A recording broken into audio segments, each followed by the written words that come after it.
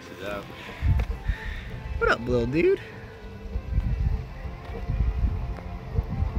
Jay chilling.